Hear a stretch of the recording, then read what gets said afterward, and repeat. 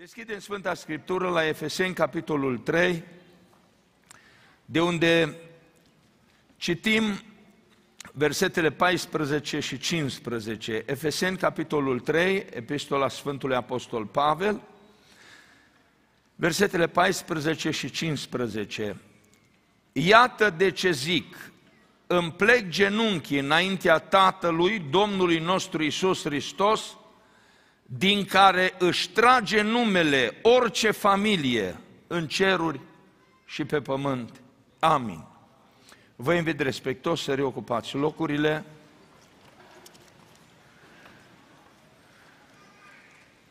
Și aș dori ca în următoarele minute, cu ajutorul lui Dumnezeu și ajutorul Cuvântului Sfânt, să abordez un subiect care mă frământă de mai multă vreme și pentru care am cerut călăuzire din partea Domnului. Este un subiect care ar putea să fie foarte lung, probabil ar fi subiectul mai multor predici, am să încerc să-l condensez pentru că e bine să fie prezentat în mod unitar, într-o singură seară, dacă e posibil. Mesajul este pentru cei tineri, pentru familiile tinere, este pentru adulți, este pentru frați și surori din biserică, anumite aspecte nu se referă la musafir și la prieteni, așa că uh, nimeni să nu se simtă ofensat sau atacat dacă nu se potrivește la anumite aspecte, pentru că acestea aparțin celor care sunt deja mântuiți și celor care sunt membri în biserică, așa că dacă avem prieteni sau musafiri sau vizitatori, uh, să nu simtă că sunt atacați. Aș dori în această seară să abordez subiectul identității noastre, pentru că acest subiect este abordat și discutat și în cercuri de credincioși și oameni, dar și dezbătut în lăuntru omului, în cele mai ascunse colțuri ale inimii. Fiecare își pune întrebarea din când în când, bine, cine sunt eu? Cine suntem noi? Și apoi, ce credem noi? Cine suntem și ce credem? Și e foarte important ca omul să aibă răspuns pentru el. Că în felul acesta știe cine este, e mulțumit cu ceea ce este, are liniște și pace și poate trăi o viață binecuvântată, o viață fericită. Să nu fie într-o căutare continuă, ci să fie liniștit și mulțumitor știind cine este El. Și bineînțeles, la întrebarea aceasta, cine suntem, cine sunt, trebuie să vorbim în primul rând din punct de vedere etnic, cine, cine suntem ca etnie. Pentru că în țara aceasta, unde trăim, îs o mulțime de etnii, sunt oameni veniți de pretutindeni. Și în România sunt mai multe etnii. În România din nou am văzut că România este o țară formată din mai multe popoare, mai multe feluri de oameni care se trag din diferite locuri. În România sunt unguri, sunt nemți, uh, sunt ucraineni, sunt ruși, sunt romi. România nu e o țară doar formată dintr-un singur popor, o singură etnie chiar dacă toți poate că au pe pașaport cetățean român. Dar are o etnie diferită de vecinul lui. În America cu atât mai mult. E bine pentru mine, e bine pentru tine, e bine pentru copii, pentru tineri să știe că noi suntem români americani. Eu mă consider român american. Spun că sunt român-american pentru că m-am născut în România și am emigrat aici și sunt cetățean american. Și sunt mai american decât mulți americani care s-au născut aici. Pentru că am impresia că noi noi care am venit emigranți aici iubim mai mult America decât iubesc alții care s-au născut aici și nu dau doi bani pe țara asta, dar noi o prețuim. Noi considerăm că țara asta e binecuvântată de Dumnezeu și mulțumim lui Dumnezeu care ne-a dus aici și ne bucurăm de libertate în această țară. Dar nu putem schimba cine suntem. Noi suntem români care am emigrat și acum suntem americani. Dacă cineva mă întreabă ce ești, eu îi spun, sunt român american. M-am născut în România și trăiesc în America. Dacă cineva întreabă copiii mei sau tinerii care s-au născut aici, tinerii o să răspund, eu sunt american. Bine, dar de unde te tragi? Păi sunt american român. Părinții mei au venit din România, aici, și aici m-am născut. Deci sunt american de etnie română. N-ar trebui să-ți fie rușine dacă ești tânăr, să-ți fie rușine de părinții tăi sau de etnia ta, doar vedeți cum e lumea în, la ora actuală, toată lumea se laudă cu etnia lui. Uh, americanii africani se laudă cu faptul că vin din Africa. Americanii asiatici se laudă cu faptul că vin din Asia. Uh, americanii hispanici se laudă că vin din Mexico sau din țările din sudul Americii. Nu-i nicio greșeală, nu-i niciun păcat, n-ai niciun handicap pentru faptul că părinții tăi au fost români și te-ai născut aici. Din potrivă, dacă ai studia un pic istoria, ai vedea că la o adică ai avea cu ce să te lauzi. Pentru că este o istorie frumoasă și oameni deosebiți. Da, ai putea să te uiți la părțile negative la care se ocupă, de care se ocupă unii politicieni sau alții care se ocupă doar de bârfe, dar în același timp ai putea să te lauzi. Să-ți dai seama că România e o țară frumoasă, îți dai seama că are o istorie frumoasă, că e o țară bogată, că are o geografie extraordinară, că orașele sunt frumoase, că oamenii sunt ospitalieri, că a avut oameni de știință grozavi, că a avut oameni politici grozavi, care e o țară de oameni gospodari și lista continuă. Deci nu e nicio rușine ca să îți accepti această identitate și să zici, eu sunt american, dar m-am născut din părinți români. Și pentru asta dau slavă lui Dumnezeu și nu-i nicio pierdere. Uh, mă doare să aud de unul sau altul, nu cred că de la noi din biserică, că se ascund, că nu vor să știe lumea că sunt români sau că el este rușine că sunt români. Păi că ți-e rușine, că nu ți-e rușine, tot același ești. Că eu nu pot să fiu nici palmier, nici câine, nici, uh, știu eu, banană. Nu pot să fiu. Și dacă oricât mi-ar place să fiu altceva, tu n-ai cum să schimbi ceea ce ești. Cine ești, aceea ești. Și mulțumește lui Dumnezeu pentru etnia pe care o ai. Ai cu ce să te lauzi dacă vrei să te lauzi. Vorbim omenește acum. Apoi, dacă vorbim de cine suntem ca etnie, trebuie să vorbim și de cine suntem ca și gen sau gender.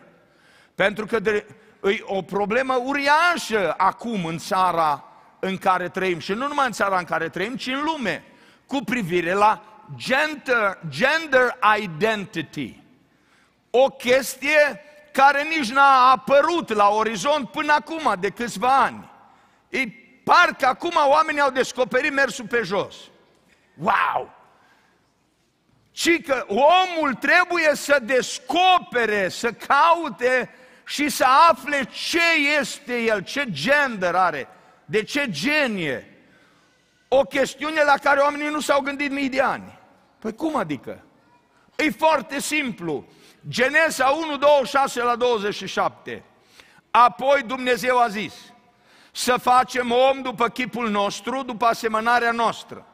El să stăpânească peste peștii mării, peste păsările cerului, peste vite, peste tot pământul și peste toate târătoarele care se mișcă pe pământ. Și ascultați, Dumnezeu l-a făcut pe om după chipul său, l-a făcut după chipul lui Dumnezeu, parte bărbătească și parte femeiască i-a făcut. Două genuri a făcut Dumnezeu, bărbat și femeie. Și nu e absolut nicio confuzie cu privire la subiectul ăsta. Numai diavolul și lumea bolnavă, bolnavă la cap, iertați-mi expresia, bolnavă cu mintea, lumea actuală, care și-a pierdut mințile, aduce sub semnul întrebării, ceea ce e foarte simplu, de când a creat Dumnezeu pe om și de când a creat Dumnezeu natura. Dacă nu e sigur cu privire la chestia asta, numai o dată trebuie să te întrebi. Dacă nu e sigur ce ești. Te duci la oglindă, te duci la certificatul de naștere sau întrebi pe mama și pe tata când ești foarte mic. Și după ce ai crescut, problema asta e rezolvată. Lucrul ăsta îl descoperi, nu mai țin minte la ce vârstă. Își dau seama că băieții sunt băieți și fetele sunt fete. La 3 ani, la 4 ani, la 5 ani, nu știu exact. Nu mai țin minte, dar foarte devreme. Și subiectul ăla închis. Băieți și fete, frați și surori. Subiectul acela e închis, ăla nu se mai deschide. Oare ce sunt? Oare nu cumva sunt altceva? Oare, oare nu m-am născut bulldog în trupul unui chihuahua? Că asta se poate întâmpla. Cei care ați văzut chihuahua și ați avut pe acasă, bă, zici că e bulldog. Și cred că ăla în mintea lui e bulldog. Când îl vezi când, cât de înfiorător e, ar fi în stare să rupă, ar fi în stare să se bată cu un animal de 10 ori mai mare ca el. Te uiți la el, mai, un mai mare ca un șobolan. Și zici că e bulldog, așa se poartă. Dar nu e, nu e. E ceea ce e. Ca om, ca bărbat și femeie, ești ceea ce ești. Și trebuie să accepti ceea ce ești, să știi că ai parte din identitatea ta și să nu te uiți pe internet să vezi ce spune internetul cu privire la tine. Tu, tu vrei să afli de pe internet afli din certificatul de naștere și din oglindă, afli ceea ce ești. Și foarte simplu, și trebuie încetată căutarea asta pentru oricine care ne aude, pentru că diavolul e expert în confuzie. Și la ora actuală vrea ca lumea să fie confuză cu privire la orice, să nu mai fii sigur de nimic, de nimic, și de lucrurile care sunt simple și esențiale. Și imaginați-vă cum trăiește un om care nu-i sigur de sine. Mă, eu nici nu mai știu ce îs. Merge seara la culcare, nu mai știu ce îs. Păi de ce oamenii ăștia să sinucid în masă? De ce avem this transgender movement? Faceți un picuț de studiu și o să vedeți că pentru cineva care vrea să schimbe genul de la bărbat la femeie sau de la femeie la bărbat, se apropie de 2 milioane de dolari costul pentru un lifetime de treatment. Oh, oare cine câștigă aici? Cine câștigă aici? A cui e interesul? Păi interesul lor ar fi, și ăștia care sunt domeniul medical, interesul lor ar fi milioane de oameni să vină ca pe bandă așa și să pună la operație, să-i îndoapă cu medicamente și să îi schimbe din bărbat în femeie și din femeie în bărbat și după aia se aduc chiar din nou și la cealaltă operație se facă din apoi cum au fost dacă se mai poate. Că după câțiva ani de zile se trezește omul și zice, mă, dar nu a fost bine. Ce-a fost de capul meu? E foarte simplu, dar e esențial ca omul să accepte ceea ce este și ceea ce l-a creat Dumnezeu. Și cum te-a creat Dumnezeu, te-a creat frumos și bine. Și la ceea ce a creat Dumnezeu nu mai trebuie să adaugi sau să scoți nimic. Dacă ești român, american, bărbat sau femeie, slavă Domnului! Dacă ești african, bărbat sau femeie, slavă Domnului! Dacă ești asiatic, slavă Domnului! Fiecare să fie mulțumit și să accepte ceea ce Dumnezeu a hotărât în dreptul lui. Pentru că noi nu putem hotărâ tot ce vrem în dreptul nostru. Sunt lucruri care ne sunt date. N-am putut să hotărâm data nașterii. N-am putut să hotărâm locul unde ne-am născut. N-am putut să hotărâm dacă venim sau nu venim în lumea asta. Au fost întrebări pe care nu ni le-au pus nimeni. Dumnezeu a rânduit așa, noi primim ca din partea lui Dumnezeu și mulțumim lui Dumnezeu. În al treilea rând, ca și credincioși, am vorbit despre cine suntem ca etnie, ca gen, ca și credincioși. Ca și credincioși, noi ne numim creștini. În primul rând, suntem creștini. Pentru că acceptăm crezul enunțat la Nicea în 325 după Hristos. Atunci s-a definit pentru prima dată, într-un mod simplu, dar și complex, ce înseamnă a fi creștin, care, care este credința de bază a unui creștin. Și n-am să intru în detalii, puteți să faceți un search când mergeți acasă cu privire la crezul din Nicea, uh, definit atunci și acceptat atunci de către ceata prezbiterilor și liderii bisericii. Și toți cei care acceptă acest crez se numesc creștini. Deci noi, în primul rând, suntem creștini.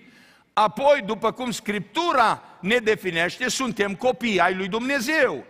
1 Ioan 3 cu 2. 1 Ioan 3 cu 2. Prea iubiților, acum suntem copii ai lui Dumnezeu. Și ce vom fi nu s-a arătat încă, dar știm că atunci când se va arăta El, vom fi ca El, pentru că îl vom vedea așa cum este. Ce suntem acum? Ce suntem acum? Azi. Ce suntem azi? Ce ești? Copii ai lui Dumnezeu. Binecuvântat să fie numele Lui. Ești bucuros cu identitatea asta. Dacă zici, îs român-american, da? Îs bărbat sau femeie, îs creștin, îs copil al Domnului.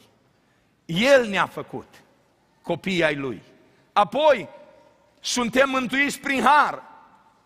Fapte 15 cu 11. Bineînțeles, pentru toate acestea avem o mulțime de versete, dar ne oprim doar câte la unul. Și credem că noi, ca și ei, suntem mântuiți prin harul Domnului Isus. Mântuirea se capătă prin har. Este darul lui Dumnezeu. Când, pri, când te privești în oglindă, să zici, wow, ăsta e un mântuit a Domnului. Pentru sufletul acesta a murit Hristos și a dat viața Fiului Dumnezeu. Te bucuri de identitatea asta, poți să-i mulțumești lui Dumnezeu pentru ceea ce ești? Ești copil al lui Dumnezeu, ești mântuit prin har, ești neprihănit prin credință. Suntem neprihăniți prin credință. Roman 5 cu 1. Deci fiindcă suntem socotiți neprihăniți prin credință, avem pace cu Dumnezeu prin Domnul nostru Iisus Hristos. Adică nu suntem în ceartă cu Dumnezeu, nu suntem în dușmănie cu Dumnezeu, din potrivă suntem în pace cu Dumnezeu. Seara când mergi la culcare, poți să mergi la culcare liniștit, pentru că Dumnezeu ne socotește neprihăniți. N-avem merite, nu suntem nimic special, dar Hristos Domnul a plătit prețul și prin credință suntem socotiți neprihăniți. Apoi, suntem moștenitori. Ce mai suntem? Suntem moștenitori.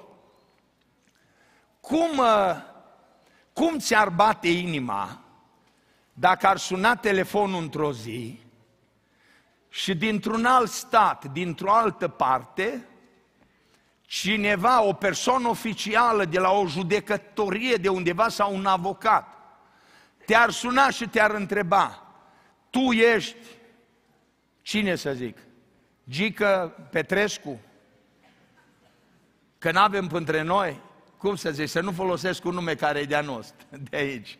Așa, tu ești Gică și să spui, ias, eu sunt.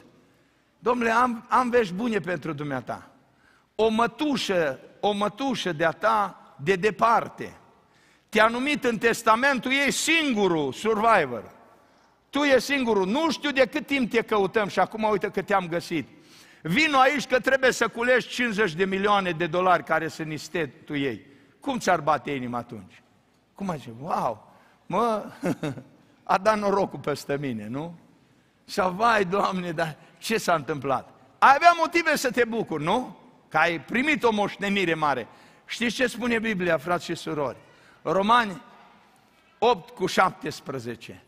Noi suntem moștenitori cu Hristos. Și dacă suntem copii, și suntem copii, suntem și moștenitori. Moștenitori ai lui Dumnezeu împreună moștenitori cu Hristos. dacă suferim cu adevărat împreună cu El ca să fim proslăviți împreună cu El. Moștenitor împreună cu Hristos. Cea mai mare moștenire, cea mai splendidă moștenire, la superlativ. Nu se poate vorbi de o moștenire mai înaltă, mai grozavă, mai minunată, ca și moștenirea împreună cu Hristos. Moștenim viața veșnică împreună cu Hristos și domnia în univers împreună cu Hristos. Suntem împreună cu Hristos. Dacă ne place să fim împreună cu oameni importanți și ne place, trebuie să recunoști că îți place. Îți place să fii împreună cu un om important. Și ne place la toți. Dacă ne place să fim împreună cu un om important, Biblia ne spune că vom fi împreună pentru eternitate, moștenitori împreună cu Hristos. Binecuvântat să fie numele Lui în vecii vecilor. Deci ca și credincioși, suntem creștini, suntem copii ai lui Dumnezeu, suntem mântuiți prin har, suntem neprieniți prin credință și suntem moștenitori împreună cu Hristos. Acum, ce credem? Ce credem? Dați-mi voie din nou să spun într-o paranteză vis-a-vis de ceea ce am zis. Eu sunt foarte fericit cu identitatea asta. Eu sunt foarte mulțumit că am această identitate. Am toate motivele să-L slăvesc și să-L binecuvântez pe Dumnezeu și m-aș bucura și cred că și dumneata care mă asculți ești în asentimentul meu. Avem motive să-i mulțumim lui Dumnezeu pentru ceea ce suntem. Binecuvântat să fie El. Ce credem? Ce credem noi despre căsătorie și familie? Credem că Dumnezeu a pus un bărbat și o femeie împreună ca să formeze familia. Genesa 2, 21 la 24. Iată, în sfârșit, citesc doar partea a doua, cuvintele lui Adam. Iată, în sfârșit, aceea care este os din oasele mele și carne din carnea mea, ea se va numi femeie, pentru că a fost luată din om. De aceea va lăsa omul pe tatăl său și pe mama sa, îi tată și mamă, apropo de ceea ce spunea, cred că fratele Sorin dimineață, sau a spus altcineva, părinte 1 și părinte 2, da, ca să nu fie insultat cineva, cum adică dacă e, e mother, e ceva mai grav decât father, nu, să nu ne complicăm cu asta, părinte 1 și părinte 2. De când a creat Dumnezeu lumea, a fost mamă și tată. Și rămâne mamă și tată. Și așa cum o judecătoare din, de la tribunalul din Timișoara spunea că dacă mai ține lumea asta încă o mie de ani, primul cuvânt pe care îl va spune copilul când învață să vorbească va fi mamă. Ea n-o să, copilul nu o să spună parent one, where are you? Parent two, can you hear me? No, no, copilul va spune mama mama sau bunicul, și aia se poate. Noi credem că la început Dumnezeu a pus un bărbat și o femeie împreună ca să formeze o familie. Deci familia e formată din bărbat și femeie în exclusivitate. Altfel de căsătorie nu este recunoscută de Dumnezeu și de Sfânta Scriptură, nici de Biserica Domnului Isus Hristos. Dacă Vasilică îl iubește pe Petrica, aia e problema lui în lume, acolo e problema lui. Dacă Petrica iubește poneiul sau câinele sau pisica sau mai știu eu ce, iar e problema lui. Pentru Biserica Domnului Isus Hristos și pentru cei mântuiți, bărbatul se căsătorește cu femeia și punct. Căsătoria asta ne arată Scriptura că e pe viață, e pe viață. N-avem voie să ne răzgândim așa cum ne răzgândim după ce ducem o mașină acasă și mă, nu mai e așa faină cum au arătat la dealer. N-avem voie să ne răzgândim cum ne răzgândim după ce cumpărăm o casă și ne dăm seama că nu e exact cum am gândit noi. Nu, căsătoria este pe viață. Matei 19 cu 6, sunt multe versete, citesc doar unul, așa că nu mai sunt doi, ci sunt un singur trup, deci ce a împreunat Dumnezeu, omul să nu despartă. Odată ce, ce cei doi au devenit una, ei sunt una pentru toată viața. Dumnezeu să binecuvinteze familiile bisericii. Vis-a-vis de familie, căsătorie, noi credem că copiii sunt o binecuvântare. Copiii sunt o binecuvântare, sunt un dar de la Domnul. Psalmul 128, versetul 3 și 4. Nevasta ta este o viță roditoare înăuntru casei tale. Copiii tăi stau ca niște lăstari de măslin în prejurul mesei tale. Așa este binecuvântat omul care se teme de Domnul. Psalmul 127, versetul 3. Iată, fii, sunt o moștenire de la Domnul.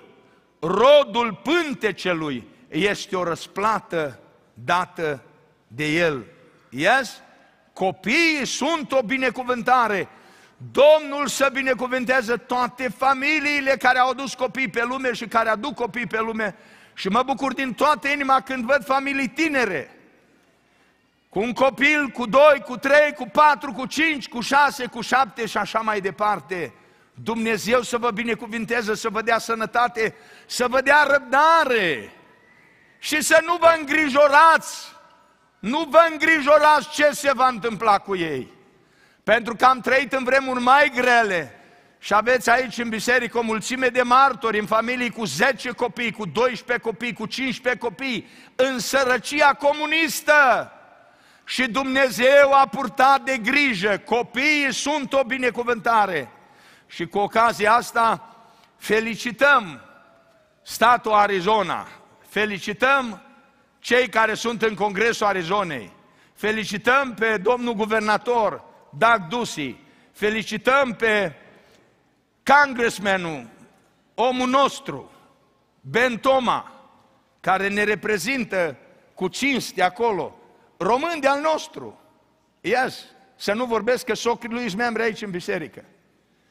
Așa, Ben Toma, care a fost vârful de lance pentru această legislație, ca fiecare părinte să primească grant de la stat 6500 de dolari aproximativ pentru fiecare an școlar să-l ducă cu copilul unde vrea părintele să ducă copilul. Adică, dacă părintele nu vrea să-și dea copilul la public school, că ăștia de la public, public school ne îmbată cu gender identity și îi zăpăcește de cap pe copii, nebunește și pe ei și aduce la confuzie și sinucidere. Și părintele zice, eu nu vreau să-mi dau copilul la școală aici. Părintele și-a copilul și cu el ia 6500 de dolari care îl duce la școala unde vrea părintele să meargă copilul. Am zis extraordinar, când noi, am, când noi ne-am rugat și ne-am apucat de lucru aici și am zis că o să deschidem școală, am zis de unde o să devin, vină fondurile, că poate nu toți frații o să aibă bani să plătească pentru copii. Iată că e rezolvată problema asta. Așa asta a fost problema numărul unu. Frați și surori, ne dă Dumnezeu harul să facem școală aici. Și apoi, din banii de taxe care îi plătim, cu copilul vine 6500 și asta uh, asigură fonduri pentru ca școala să opereze. Dumnezeu să binecuvânteze statul Arizona. O să vedeți că va fi un flux de familii tinere, va fi un influx de familii tinere care se vor muta aici în Arizona și dintre americani americani și dintre români americani. Și aici, la biserică, pentru motivul ăsta, pentru că părinții țin la copiii lor și părinții nu permit ca copiii lor să fie otrăviți, să fie otrăviți în sufletul lor și în mintea lor de o agendă politică stricată. Și părinții caută să-și protejeze copiii și știu că vor face tot ce depinde de ei ca copiii lor să crească într-un mediu potrivit, într-un mediu sănătos. Slăvit să fie Domnul pentru asta. Copiii sunt o binecuvântare, nu vă îngrijorați cu privire la copii. Avortul este păcat, numită pruncucidere. Psalmul 139, versetul 16, s-a citit și dimineață, cuvântul spune că nu eram decât un plot fără chip, ochii tăi mă vedeau și în cartea ta erau scrise toate zilele care mi erau rânduite mai înainte ca să de a fi fost breuna din ele. Dumnezeu este Cel care dă viață. Viața începe la concepere. Pruncul în pântecele mamei este o ființă umană și este deja băiat sau fată, acolo în pântecele mamei. Și acolo copilul trebuie protejat și păzit de părinți, de mama și de tata și de societate. Și de ce să nu felicităm Curtea Supremă pentru marele curaj care l-a avut? Și a întors, a dat peste cap Roe vs. Wade. Mă gândeam că nu-i posibil lucrul ăsta. Am fost așa, așa de împietrit și așa de dezamăgit cu ce se întâmplă în America, am zis, nu se poate lucrul ăsta. Și uitați-vă, fraților, au avut curaj oamenii din Curtea Supremă să spună avortul nu este un drept constituțional. Constituția Americii nu dă dreptul mamei ca să-și omoare copilul. Atât au spus ei. Și toată lumea și toți stricații lumii îs înfuriați. Îs înfuriați. Ba bărbați, că mai apar și bărbați, ba femei. Femeia vrea dreptul ca să-și omoară copilul înainte de a se naște. Asta e definiția. Vrea dreptul, e dreptul meu, e dreptul să omor copilul înainte de a se naște. Dar n-are drept să-l omoare după 10 zile după naștere sau la 3 ani. Uite-te la un copil de 2 sau 3 ani. Uite-te la un copil de 6 săptămâni sau de 6 luni. Cât e de drăguț. Atunci nu se gândește să-l omoare, dar înainte îl arunci din tren cu o stație înainte. Nu îl arunci la stația finală, îl arunci înainte. Biblia condamnă, este păcat, este pruncucidere. Dumnezeu să păzească toate fetele și surorile de păcatul ăsta, că se încarcă pe conștiință cu un păcat, care chiar dacă îl iartă Dumnezeu, nu vă lasă. Și nu dă liniște celor care, care au făcut păcatul ăsta. Viața va arăta diferit pentru cei care și-au permis să facă păcatul ăsta. Chiar dacă Dumnezeu iartă după ce se întorc la Dumnezeu. Felicităm Curtea Supremă și m-am bucurat atunci că din, îs american, atunci m-am bucurat din nou. Zic, wow, extraordinar. Europa a luat o razna, ei încep să aprobe în Europa și în America s-au întors invers. Zic, a fost bine totuși că Dumnezeu l-a folosit pe președintele Trump câțiva ani și a pus acolo trei judecători cu minte care se tem de Dumnezeu. Interesant lucrează Dumnezeu. Te bucuri, când te uiți în istorie, vezi mâna lui Dumnezeu, slăvit să fie Domnul pentru asta. Divorțul este păcat. Matei, uh, Maliahi 2 cu 16, căci eu urăsc despărțirea în căsătorie, zice Domnul Dumnezeului Israel. Eu, eu urăsc despărțirea în căsătorie, zice Domnul Dumnezeu. Noi credem că divorțul e păcat, avortul este păcat. Copiii și o binecuvântare, căsătoria e pe viață și este într-un bărbat și o femeie. Asta credem despre familie și despre căsătorie. Ce doctrină specifică avem? Pentru că noi suntem creștini, dar suntem creștini penticostali. Ca și creștini penticostali avem anumite particularități care aparțin doctrinei noastre. Noi, ca pentecostali, suntem biserica apostolică, adică biserică ce luăm în considerare și aplicăm învățătura apostolilor. Nu ne oprim doar la Evanghelii și la nivelul credinței, ci aplicăm, căutăm să aplicăm credința și să învățăm de la apostoli ce avem de făcut. În primul rând, ca și Biserică Pentecostală Apostolică, Credem în botezul cu Duhul Sfânt care este însoțit de vorbirea în alte limbi. Asta găsim în fapte capitolul 2, în fapte capitolul 8, în fapte capitolul 19, în fapte capitolul 10. Asta găsim în cel puțin patru locuri din faptele apostolilor, în care așa a botezat Dumnezeu cu Duhul Sfânt. Și noi credem că dacă Dumnezeu a botezat așa atunci, botează și acum tot la fel. Credem în manifestarea darurilor Duhului Sfânt, inclusiv în darul prorociei. 1 Corinteni, capitolul 12, vorbește despre toate darurile și 1 Corinteni, capitolul 14, deci două capitole mai, mai în spate sau mai în față, capitolul 14 vorbește despre prorocie și vorbirea în alte limbi. Noi credem în promovarea sfințeniei și a învățăturii apostolilor. Fapte 2 cu 42. Ei stăruiau în învățătura apostolilor, în legătura frățească, în frângerea pâinii și în rugăciuni. Și pentru că credem așa și promovăm sfințenia și promovăm învățătura apostolilor, credem că copiii lui Dumnezeu trebuie să stea la depărtare de alcool. Fără alcool, fără droguri sau substanțe toxice, indiferent de ce natură sunt. Și o să vedeți în următorii ani, o să vedeți în următorii ani ce studiu o să apară cu drepturile la marihuana. Că în toată America, încet, încet, marihuana va fi legalizată. O să vedeți ce se întâmplă în țară și ce urmări drastice și periculoase și oribile o să fie. Dar după ce se nenorocește o, o generație, ce să faci că nu mai poți întoarce timpul înapoi? Fără alcool, fără droguri sau substanțe toxice, de niciun fel. Levitic 10 cu 9. Vorbește Dumnezeu prin lege despre preoți înainte de a intra în cortul întâlnirii, să nu cumva să bea vin sau băutură amețitoare, că Dumnezeu îi pedepsește. Aceasta va fi o lege veșnică pentru urmașii voștri.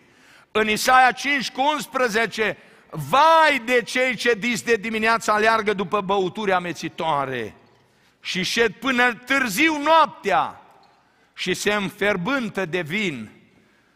Aviz celor care caută petreceri unde nu-i Dumnezeu. Luca 1 cu 15, va fi mare înaintea Domnului, nu va bea nici vin, nici băutura mețitoare, ci se va umple de Duhul Sfânt încă din pântecele Maicii sale. Iată uh, alcoolul și Duhul Sfânt în antiteză. Efeseni 5 cu 18, nu vă îmbătați de vin, aceasta este destrăbălare. Din potrivă, fiți plini de Duh. Fără alcool, fără vin, fără bere, fără alcool și fără substanțe toxice. Asta e promovarea sfințeniei. Asta suntem noi ca doctrină, ca învățătură. Și Dumnezeu să binecuvânteze poporul și tânăra generație să nu mai aibă debate cu privire, mă, un pahar de vin sau o bere. No, it's a big no-no. Fără tatuaje, yes, fără tatuaje. Levitic 19 cu 28, să nu vă faceți tăieturi în carne pentru un mort și să nu vă faceți slove săpate pe voi. Eu sunt Domnul. 1 Corinteni 6 cu 19 și 20, nu știți că trupul vostru este templul Duhului Sfânt care locuiește în voi și pe care l-ați primit de la Dumnezeu și că voi nu sunteți ai voștri, Trupul tău nu e al tău până și trupul ăsta nu e al nostru. Este templul Duhului Sfânt. Ați fost cumpărați cu un preț. Proslăviți dar pe Dumnezeu în trupul și în Duhul vostru care sunt ale lui Dumnezeu, amândouă. Și trupul și Duhul. Yes, fără tatuaje, that's old fashion, și ăla e un business care o zăpăci lumea de cap. Să vedeți în următorii ani, ce puternic business va fi tattoo removal. Când o să-și revină unii și o să zică, bă, dar ce-a fost de capul meu că mi-am pus asta aici? Mai zic și cu altă dată, I love Maria și Maria umbla cu altul și el o luat-o pe Lucia acum așa, pe Maria ce caută pe brațul lui? Tattoo removal. Și alții altfel și altfel și altfel. Unii zice I love Jesus. Nu, puneți pe inimă puneți pe inimă, scrieți pe tăblița inimii tale, I love Jesus. Nu trebuie pus aici. Nu trebuie versete scrise pe corp. Nu, nu, asta ne învață Biblia. Să fie scrise în inimă, în minte, să le pui pe ușoricase, yes, să le pui la vedere oriunde sunt, nu pe corp. Fără bijuterii, fără bijuterii, niciun fel de bijuterii. Excepția care o facem și asta e o găduiță, e verigheta, care nu-i considerat o bijuterie pentru că arată doar că o femeie sau un bărbat e căsătorit. Fără inele, fără brățări, fără lănțișoare, fără cercei, fără bijuterii. fără păr vopsit în culori nenaturale sau aranjate extravagant, fără unghii vopsite. Yes, nu trebuie vopsite unghiile, sunt bune, sunt frumoase așa, naturale cum sunt. Dacă ai pus ceva pe ele care nu se vede, nu știe nimeni că ai pus și e ok, it's fine. And again, nu ispitiți pe nimeni și nu ne ispitiți pe noi. Dacă veniți și țineți microfonul în mână și noi vă vedem unghiile, you did something wrong, ceva nu e în regulă. Că eu vreau să ascult cântarea, nu să mă uit cât de lungi sunt unghiile, cât de scurte și ce culori sunt. Și la biserică și oriunde. This is real and this is very serious. Nu e nevoie, nu este nevoie. Nu impresionăm nici pe alții, nici pe Dumnezeu. Aveți grijă de unde vă alimentați. Și vreau să spun surorilor, dacă toată ziua ești interesată în frumusețe și cosmetice, păi normal că tot acolo să fii. And I cannot even blame anybody. Nu, nu pot să condamn. Că dacă toată ziua ești la articole de frumusețe și la cosmetice și la modă, la fashion, păi numai la aia o să te gândești, numai aia o să fie în cap. That's what it is. Ca și bărbatul care e toată ziua la mașină sau toată ziua la fotbal sau toată ziua la orice altceva. Păi numai aia are în cap. Cu, cea, cu lucrurile cu care te alimentezi, alea te formează, alea te pasionează. Dar cu cât ești mai mult lângă Scriptură, la rugăciune, la părtășie, devii interesat în lucrurile care plac lui Dumnezeu. Asta e o realitate și subiect pentru altă predică, pentru că nu avem timp. Fără farduri care transformă, care alterează aspectul natural al feței. Dacă l-ai pus, nu trebuie să-l vedem că e acolo. Dacă îl vedem, înseamnă că te-ai vopsit, te-ai schimbat. Îs mai multe pasaje care vorbesc despre modestie. 1 Timotei 2 cu 9. Vreau de asemenea ca femeile să se roage îmbrăcate în chip cuvincios, cu rușine și sfială, nu cu împletituri de păr, nici cu aur, nici cu mărgăritare, yes, mărgăritare sunt diamante, nici cu haine scumpe. 1 Petru 3 cu 3, podoaba voastră să nu fie podoaba de afară, care stă în împletitura părului, în purtarea de scule de aur sau în îmbrăcarea hainelor. Watch out! Toți trebuie să avem grijă la lucrul acesta. Fără îmbrăcăminte provocatoare, adică modestie și simplitate, nu cauzezi păcate.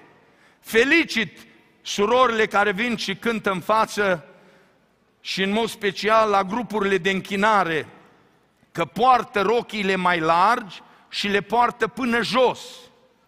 Cinste lor, Domnul să le binecuvinteze. Iată ce spune Matei 18 cu 7.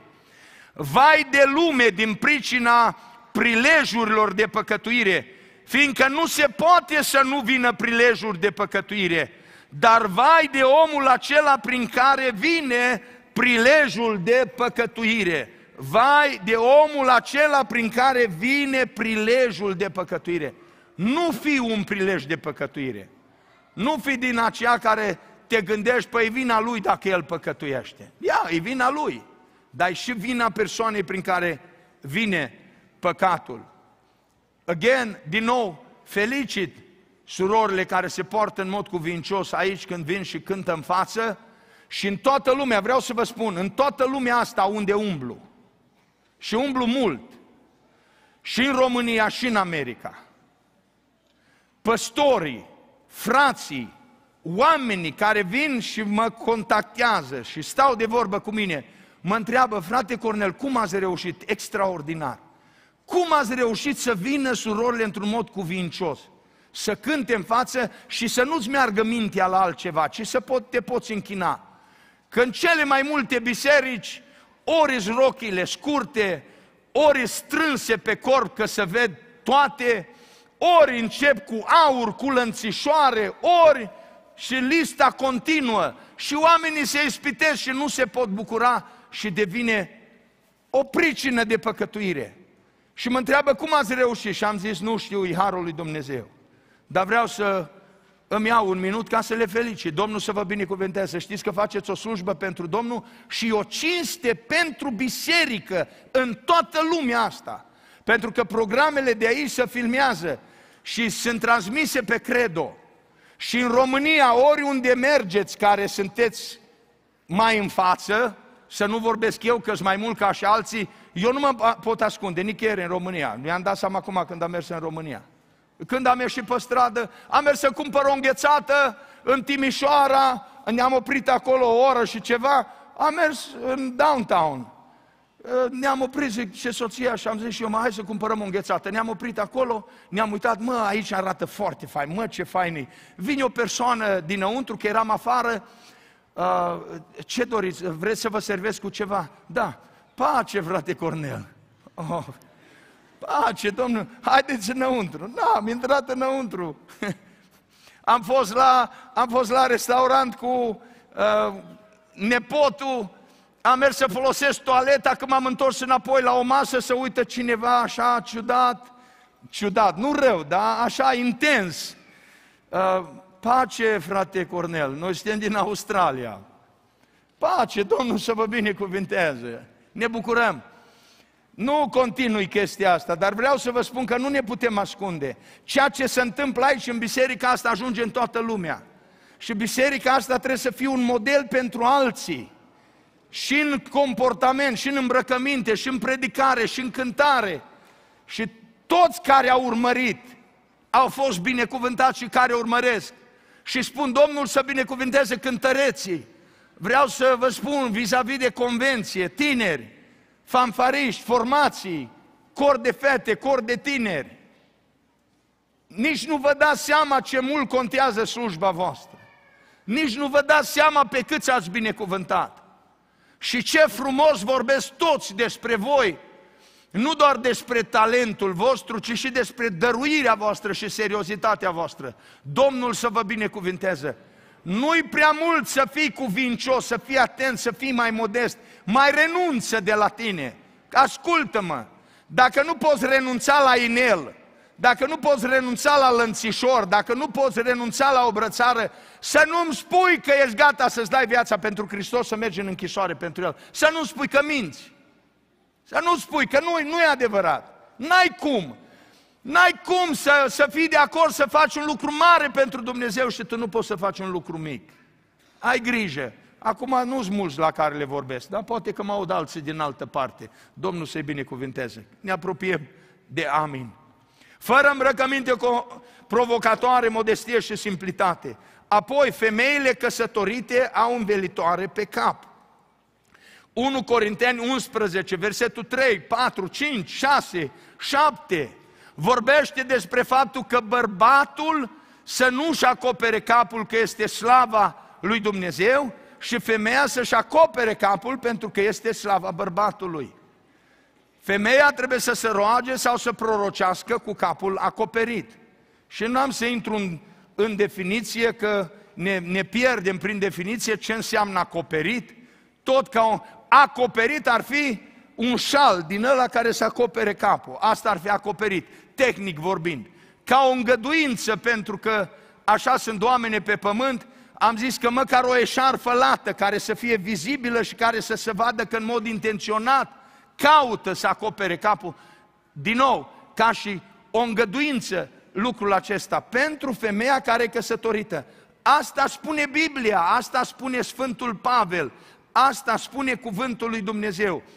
Ce face fiecare mai departe, cum interpretează, cum taie firul de păr în patru, că acum, cu atâta teologie, să ia orice cuvânt, se întoarce, să dă peste cap și nu mai trebuie făcut nimic. Acum, vedeți, vedeți cât de ușor să intră în rai.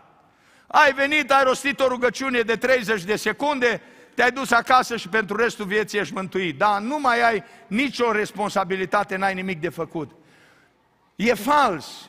Vrem să rămânem lângă ceea ce este scris. Și cine caută să rămână lângă ceea ce este scris, nu va pierde. Nu va pierde nici el, nu va pierde nici familia lui, nu va pierde nici businessul lui, nu va pierde nici biserica, nici împărăția lui Dumnezeu. Din potrivă, vor fi binecuvântați. Domnul să binecuvinteze această biserică.